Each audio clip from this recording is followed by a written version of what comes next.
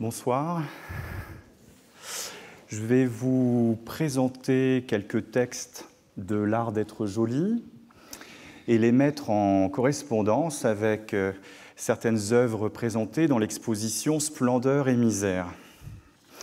L'art d'être joli est une publication hebdomadaire illustrée dirigée par Liane de Pougy, sans doute la plus célèbre courtisane française de la fin du XIXe siècle.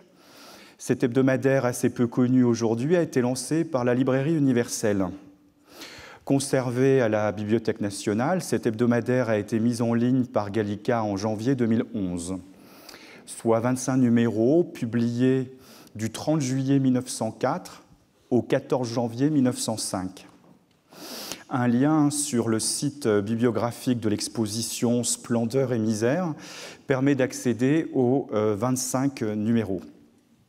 En 1994, dans un ouvrage collectif dirigé par Alain Montandon pour une histoire des traités de savoir-vivre en Europe, Marie-Claire Grassi rappelle qu'au XIXe siècle, de très nombreux livres de femmes sont des traités d'éducation, de morale et de savoir-vivre les femmes gardiennes du foyer, entre guillemets, sont devenues maîtresses de la politesse, de l'art de recevoir, de se comporter. Plusieurs types de femmes ont écrit ces ouvrages, éducatrices de métier, institutrices et responsables de maisons d'éducation, romancières et femmes du monde. Ces dernières, comme le souligne Marie-Claire Grassi, sont rompues aux usages, disponibles pour écrire, souvent érudites, conscientes de jouer désormais un rôle social important et reconnu. Elles se lancent dans cette littérature du savoir-vivre jusqu'à présent réservée aux hommes. Dans le dernier quart du XIXe siècle, avec le triomphe de l'ordre moral et bourgeois, il y a une profusion de manuels de politesse comme ceux de la fameuse baronne Staff. Ces usages du monde, règles du savoir-vivre dans la société moderne, sont publiés chez Victor Havard en 1889. En 1897, l'éditeur annonce une 122e édition. En 1901, des usages mondains, guides du savoir-vivre moderne dans toutes les circonstances de la vie, sont publiés chez Victor Havard et compagnie, avec de très nombreuses illustrations sous le nom de Baronne d'Orval, témoignant toujours d'une véritable mode. Cet auteur né Isarne de Villefort va publier des, des livres de savoir-vivre sous au moins trois pseudonymes, Baronne d'Orval, Comtesse Marca et Comtesse de Tramar. C'est sous ce dernier nom que sortira par exemple en 1903 Le Bréviaire de la femme, pratique secrète de la beauté, chez Victor Havard. Liane de Pougy, à son tour, dirige l'art d'être jolie. Est-ce la réponse du demi-monde au monde du faubourg Saint-Germain, avec d'autres règles de savoir-vivre? L'hebdomadaire de Liane de Pougy aura-t-il une influence sur les livres de savoir-vivre suivants? Signalons tout de même le manuel de la comtesse de Tramar, publié en 1911, sous le titre très freudien Que veut la femme? avec comme sous-titre la réponse Être jolie, être aimée et dominée. En 1904, Liane de Pougy est une courtisane célèbre, mais aussi une femme de lettres connue. Elle a publié plusieurs romans, plus ou moins autobiographiques. Son grand succès reste encore aujourd'hui Idylle saphique, 1901. Dans le dictionnaire des œuvres érotiques chez Robert Laffont, Jean Chalon précise que Liane de Pougy a eu recours à la collaboration anonyme d'Henri Albert, le traducteur de Nietzsche. Le roman raconte les dangers de ne pas succomber à la tentation de Lesbos. Les contemporains reconnurent tous les personnages comme Jean Lorrain. On lui attribue également un livre publié anonymement en 1906, L'amour saphique à travers les âges et les êtres, ouvrage documentaire sur la physiologie, la psychologie et la pathologie de la passion homosexuelle féminine ou amour lesbien, ses causes, ses origines, ses effets et ses aberrations. Enfin, les mémoires de Liane de Pougy, mes cahiers bleus, sortiront en 1977, plus de 25 ans après la disparition de son auteur, en suscitant toujours beaucoup d'intérêt. Le 4 janvier 1922, elle écrit par exemple Le palais d'Orsay, immense et chic, nous abrite en deux ravissantes chambres au quatrième étage.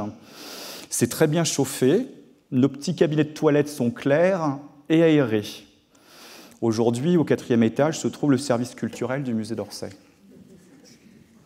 Chaque numéro de L'Art d'être joli présente en couverture un portrait d'une figure féminine du monde, du spectacle ou du demi-monde. Liane de Pougy pour le numéro 1, avec cette coiffure en bandeau. Donc Liane de Pougy pour le numéro 1 avec cette coiffure en bandeau sur les oreilles, comme la belle ferronnière de Léonard de Vinci récemment restaurée. Cette coiffure était le signe distinctif de Claude Mérode, la danseuse de l'Opéra de Paris, si photographiée à la fin du XIXe siècle, qui apparaît en couverture du numéro 4. À gauche. Je vais associer des œuvres de l'exposition Splendeur et misère, mais sans les commenter, au texte de l'art d'être jolie, comme cette danseuse de Falguière qui est un portrait de Cléo de Mérode. Les œuvres de l'exposition viendront illustrer l'art d'être jolie et les textes de l'art d'être jolie apporteront un certain éclairage historique aux œuvres de l'exposition. Dans ses mémoires, Liane de Pougy évoque Cléo de Mérode. Je l'ai vue à Monte-Carlo. Elle avait bien près de 40 ans. C'était encore une toute petite fille sautillante et menue, souriante et fragile fraîche malgré quelques fils d'argent dans ses longs bandeaux. Elle venait de danser. Je la félicitais, nous causâmes deux minutes. Il faut que je vous quitte, me dit-elle de sa petite voix enfantine. Je vais rentrer à l'hôtel jouer un peu à la poupée avant de dîner.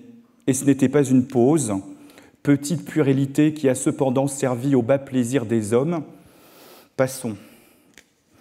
La couverture du numéro 11 présente Caroline Otero, la belle Otero, danseuse espagnole, célèbre courtisane, mais aussi grande rivale de Liane de Pougy. Dans, dans ses mémoires, Liane de Pougy raconte Il y a deux ans, j'ai aperçu sur les Champs-Élysées une grosse dame très belle de visage, avec une certaine allure, vêtue de somptueuses fourrures, de grosses perles aux oreilles. C'était mon Otero. Il y a vraiment de la beauté pour tous les âges. Elle roulait un peu sur sa graisse, mais portez beau. Toutes ces couvertures reproduisent des photographies de la maison Relinger, maison photographiant le tout Paris des spectacles du demi-monde et du demi-monde.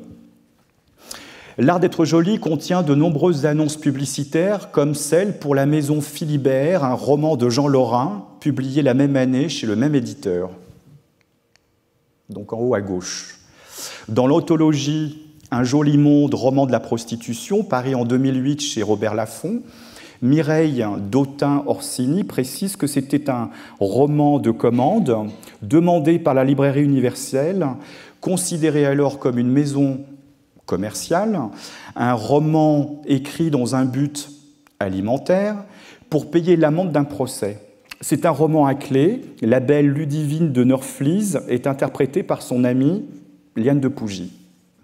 Mireille Dautin-Orsini rappelle aussi que le roman est illustré d'une centaine de dessins de Georges Bottigny, un peintre de Montmartre, spécialiste des cabarets malfamés et autres lieux de plaisir, et mort en 1907 d'une crise de folie d'origine syphilitique. Le numéro 1 de l'art d'être joli dessine la ligne éditoriale assez lectrice. C'est au centre. Alors, je vais vous lire euh, une grande partie du texte. La femme peut être exquise à tout âge et dans toutes les conditions sociales. Il lui suffit de ne pas se négliger, d'avoir une constante hygiène, des précautions et du goût. Certes, à toute époque, être belle afin de plaire et d'être aimée fut pour la femme le but principal, la préoccupation constante. Elle chercha toujours les moyens de mettre ses charmes en valeur, de les souligner, de les prolonger. Mais ce qui la faisait triompher, c'était moins de savants sortilèges qu'un art instinctif en elle, l'art d'être jolie. Toute le possède, il a seulement besoin d'être guidé. et c'est le but de cette publication qui apportera chaque semaine, en son format élégant et parfumé, véritablement digne de celles qui le feuilletteront, l'essence même de ce qui fait le charme féminin. Elle passera successivement en revue tout ce qui peut apprendre à la femme à mettre en valeur sa beauté, non pas seulement celle du visage et du corps, mais aussi celle du cadre délicat où elle doit vivre, de l'écrin qui la renferme, des gestes qui sont sa grâce, du parfum de bonheur qu'elle répand autour d'elle. Chaque semaine, sur la couverture et dans l'intérieur des pages, paraîtront des images féminines qui seront autant de types de l'idéal beauté.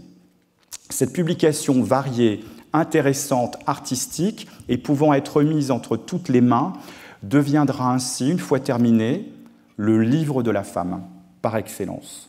Précisons que la pagination est continue jusqu'à la page 384 et les 25 fascicules pourraient parfaitement constituer un livre à éditer. Un programme est également proposé dès le numéro 1 avec ses principaux sujets qui seront traités par séries variées. C'est à droite.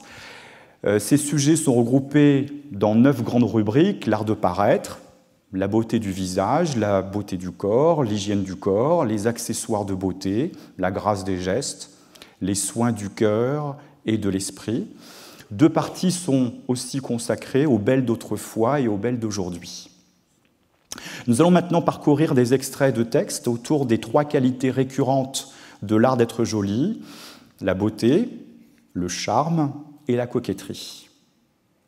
Le numéro un l'affirme, est belle qui veut. Il n'y a pas de femme laide. Il n'y a que des femmes qui se négligent, qui oublient leur rôle charmant, qui est de chercher toujours à plaire, être belle est pour la femme un devoir comme être bonne. Et pour être belle, il suffit de vouloir. L'avant-dernier numéro rajoute et précise, si une femme n'est pas jolie, c'est de sa faute. C'est le laisser aller le grand coupable. Et lui qui décrit, lui qui détruit l'harmonie de votre visage, de vos gestes, lui qui ne prend aucune mesure préventive, pourtant bien simple.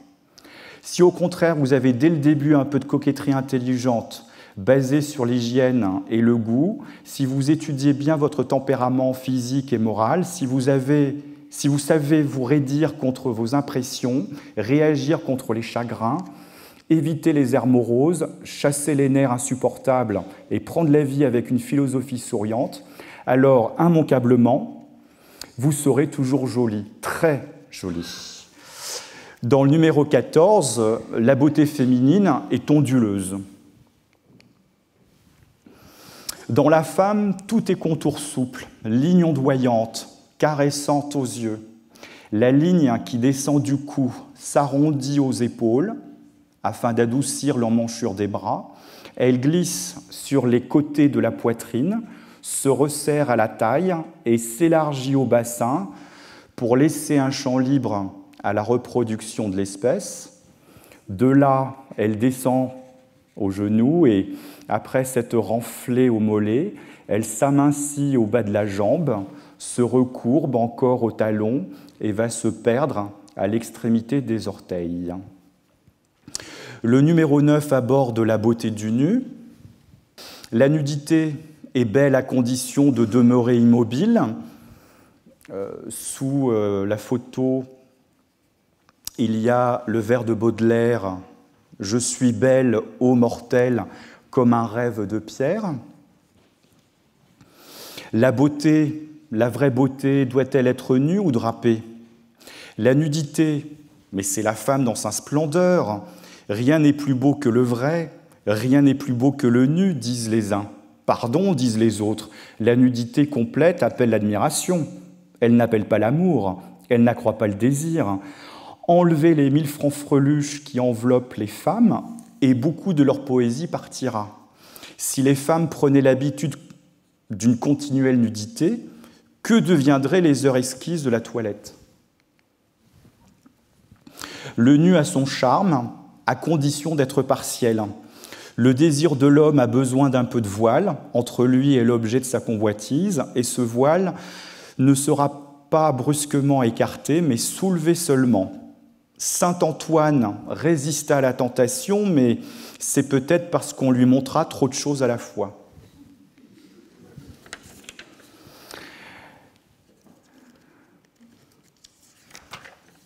Dans le numéro 18, la beauté est divine pudeur. Sous la photo, on peut lire quel geste charmant que celui des mains qui se croisent pudiquement sur la poitrine. La beauté pudique, c'est sans jamais laisser tomber ses voiles, apparaître aussi gracieuse, aussi troublante, davantage même que dans une intempestive nudité. Elle sait retenir sur son corps le voile fin qu'il idéalise en imprécisant ses contours. La pudeur, c'est être partout, dans le ton de la voix, dans le regard, dans la mise, dans la démarche.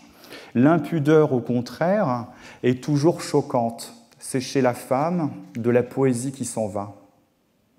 Alors comment vous décolleter Le numéro 21 nous montre en photographie une variation sur le décolletage avec grand décolleté, en pointe, demi-décolleté, en carré, en ovale, découvert.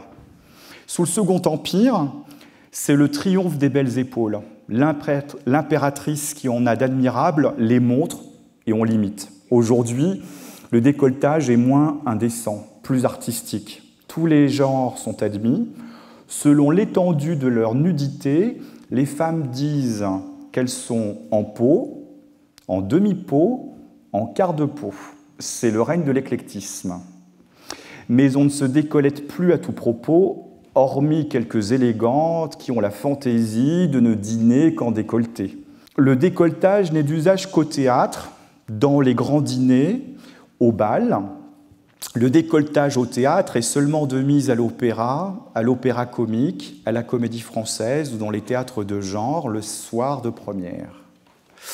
Le numéro 7 remarque que la beauté est relative. Avec l'âge, le climat et l'éducation, le goût varie. En Europe, une svelte et gracieuse française, une massive et rêveuse allemande, une mince et pâle anglaise, une espagnole à la peau brunie peuvent réaliser la perfection esthétique de leurs compatriotes. La beauté véritablement idéale, qui s'imposerait à tous unanimement, n'a donc pas de règles définissables. Elle reste toujours un mystérieux, variable et capricieux, je ne sais quoi. Il y a aussi la beauté de la japonaise, dans le numéro 1, avec la rubrique non annoncée euh, des belles d'ailleurs. La japonaise est une et d'une petitesse, pardon, la japonaise est d'une petitesse qui au premier abord surprend. Mais ce petit bout de femme, poupée mignonne, est amusant.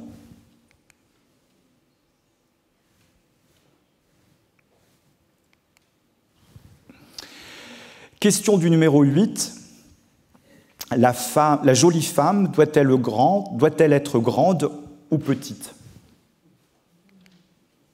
À gauche. Question du numéro 4, blonde ou brune?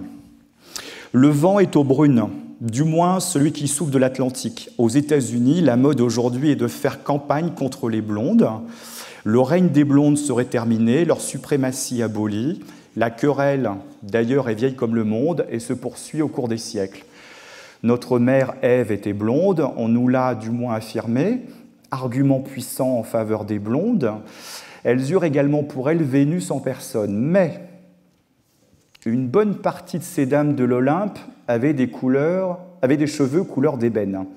À quoi bon choisir, répudier ceci pour cela Blondes ou brunes, ne sont-elles pas toutes charmantes?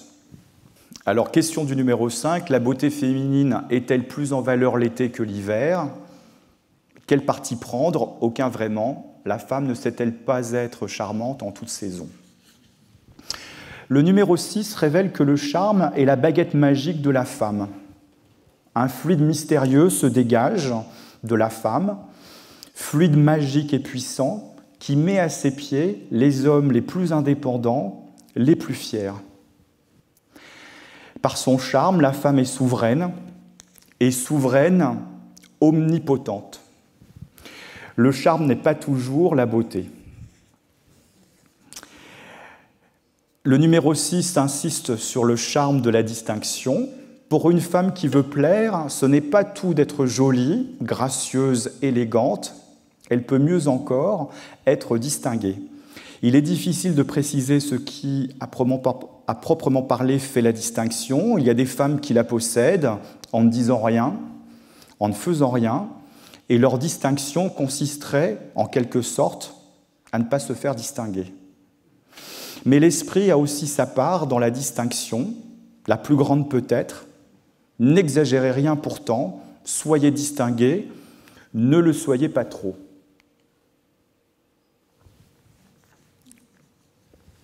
Le numéro 2 aborde la grâce. Être belle, être jolie, être gracieuse. Autant de termes différents de l'esthétique féminine. La beauté est une question d'architecture, de sculpture, de plastique, davantage naturelle. La joliesse est une question d'originalité personnelle, d'agrément, souvent imprévu. La grâce, elle, est une réunion de mouvements harmonieux, aisés, rythmiques, imprévus aussi quelquefois, une mélodie. La beauté frappe, la joliesse charme, la grâce fait mieux, elle retient. Mais le numéro 12 prévient le péril des nerfs. Connaissez-vous une jolie femme qui ne soit pas nerveuse?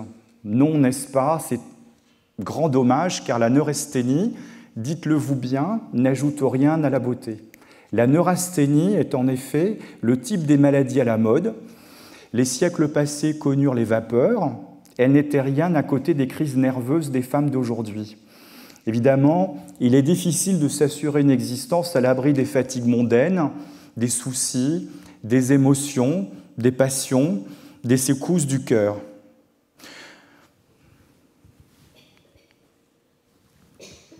Une jolie femme est faite pour se montrer, sortir, aller dans le monde, mais à quel triste résultat elle arrive souvent?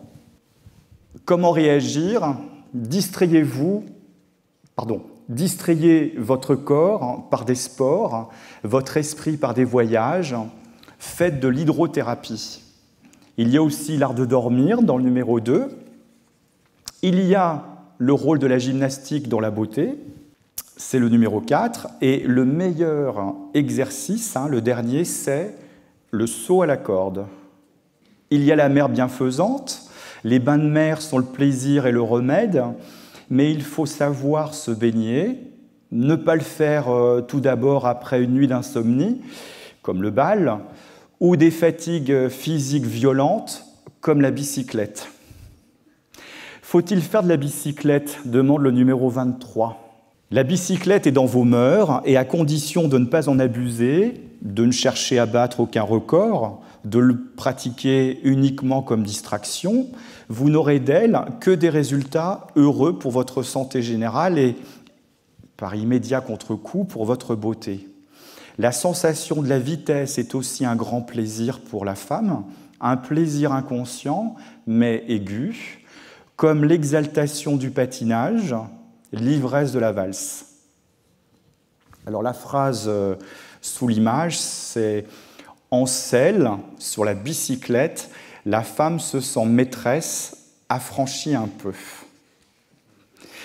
Le numéro 8 démontre euh, le charme dans la démarche. La démarche est au corps, ce que l'expression est au visage. Elle a d'ailleurs son langage, chaque âge a sa manière de marcher. La démarche du corps varie selon les lieux où l'on se trouve. Le numéro 8 valorise la science euh, du joli retroussi. Y a-t-il rien de plus charmant que la femme qui sait se retrousser? Le retroussi a pourtant ses détracteurs. Défendons cependant la vieille coutume. Pourquoi ne pas conserver ce geste harmonieux et laisser entrevoir, sans fausse honte, un peu de mollet quand on l'a joli le numéro 14 enseigne la grâce du mouchoir. Alors pour l'illustration, euh, il y a le mouchoir triste, suppliant, boudeur, mutin, ironique, et l'adieu du mouchoir. Le numéro 13 décompose la poésie de l'éventail. Les illustrations nous montrent euh, l'éventail songeur, enthousiaste, ennuyé, spirituel, et également sous l'éventail.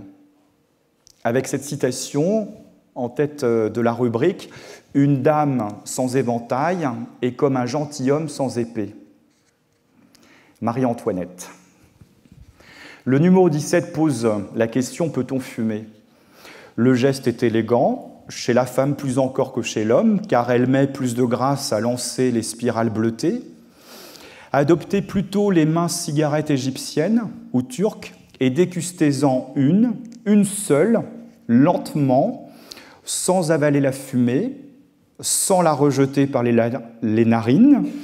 Ceci, bien entendu, se passera chez vous, à l'abri des regards étrangers qui pourraient s'en effaroucher, la cigarette féminine n'étant pas entrée dans nos mœurs. Que rien n'en reste, ni dans votre haleine, ni sur vos vêtements, et surtout, pas de cigare, encore moins de pipe. Le numéro 8 apprend l'art de rire. Ce qui convient à la femme, c'est un rire doux et léger. Riez gaiement, simplement, comme un enfant. Et le numéro 3 apprend l'art de sourire. Tandis que le rire est une exaspération joyeuse des nerfs, qui donne un éclair de beauté très fugitif, mais fait la figure irrégulière et tient de la grimace, le sourire, au contraire, rend toujours joli. Rappelez-vous qu'en souriant, vous livrez beaucoup de votre intimité. Enfin, la coquetterie. Le numéro 19 consacre une rubrique à la bonne coquetterie, discrète, intelligente, désintéressée. Tel doit être ce qu'on est convenu d'appeler la coquetterie. Elle est alors la dignité du corps de la femme, l'ornement qui met ses charmes en relief. Elle est à la beauté ce qu'est un cadre à une peinture. Et la coquetterie n'est pas faite pour séduire tout le monde, pour fasciner les passants, pour éblouir les indifférents, mais elle charme et enchante ceux qui la discernent. Le numéro 19 passe, pense, pardon, le numéro 19 pense l'art de se maquiller. Quelque déplorable que soit en principe l'habitude de se maquiller à la ville, il faut être indulgent pour ces artifices de la beauté le maquillage à ses ennemis, oh, le terrifiant spectacle des fins de bal, et dans l'intimité, quel désenchantement pour le compagnon qui vit à vos côtés. Le maquillage est la faillite du baiser. Le maquillage à ses défenseurs, illusion soit, mais illusion nécessaire. Tant pis, ou tant mieux, pour qui s'y laisse prendre. Ne vous maquillez que si cela est indispensable, et faites-le avec infiniment de tact, d'une main légère. Le numéro 3 parle du charme troublant des parfums. À côté d'un homme, une femme passe. Il connaît maintenant son parfum. Le parfum est un écho de l'intimité et le plus troublant qui soit.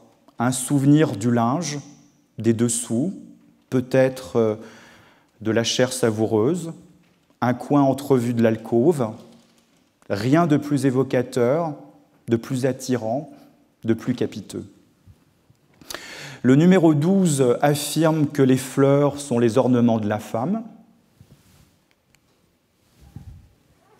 Éphémère peut-être, mais toujours renouvelable, les fleurs sont les vrais bijoux de la femme. En plus d'une variété inouïe de formes et de couleurs, ils ont cet enchantement, le parfum. La femme n'est pas complète si elle n'a pas cet ornement sur elle. De quelque façon, soit que grande dame, elle est enroulée dans ses cheveux des orchidées, ou que, modeste ouvrière, elle est à sa ceinture le petit bouquet de violettes à dessous. Faut-il aimer les bijoux?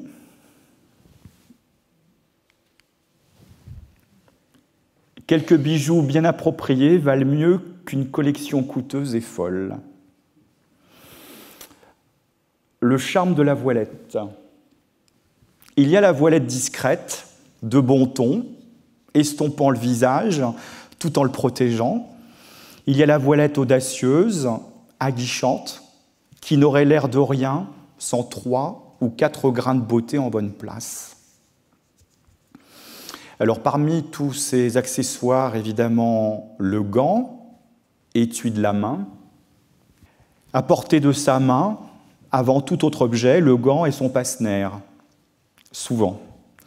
Parfois même, il est son moyen de défense.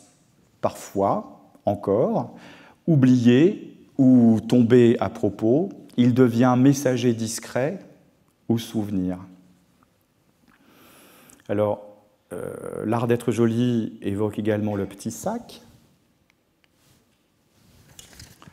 Son seul défaut est d'être trop petit et par suite facile à oublier, notamment en voiture, par des têtes quelquefois légères. Alors, je vais terminer euh, avec euh, deux questions vraiment très importantes au tournant du siècle. Comment attacher vos bas? La jarretière se meurt. Sous sa pénible pression, la jambe se gonflait et des varices se formaient. La jarretière, à sa poésie, beaucoup donnerait bien cher pour l'entrevoir hâtivement, rattaché derrière quelques portes cochères. La jartelle, fort estimée par la faculté, est en usage depuis une douzaine d'années et la coquetterie féminine a su la rendre élégante. Mais surtout, ne portez pas de talons hauts. Et puis la grande polémique qui divise les familles au tournant du siècle, la question du corset. La polémique au sujet du corset n'a jamais été si vive qu'aujourd'hui, où cet accessoire de la coquetterie étant devenu la plus étroite des gaines, euh, la faculté part en guerre contre lui, tandis que la femme y trouve un surcroît de distinction et d'élégance. Il a gardé du XVIIIe siècle cette grâce qui fait des tailles féminines comme de véritables tiges de fleurs. Et je termine avec euh, des jugements sur le corset portés par euh, des actrices. Le corset, c'est quelque chose de charmant quand on le met, mais d'exquis quand on le retire. Le corset est l'habillé du déshabillé. Le plus grand bourreau de la femme quand il n'est pas son plus grand ami. Et pour terminer, Dieu a fait la femme, le corset a fait la parisienne. Je vous remercie beaucoup.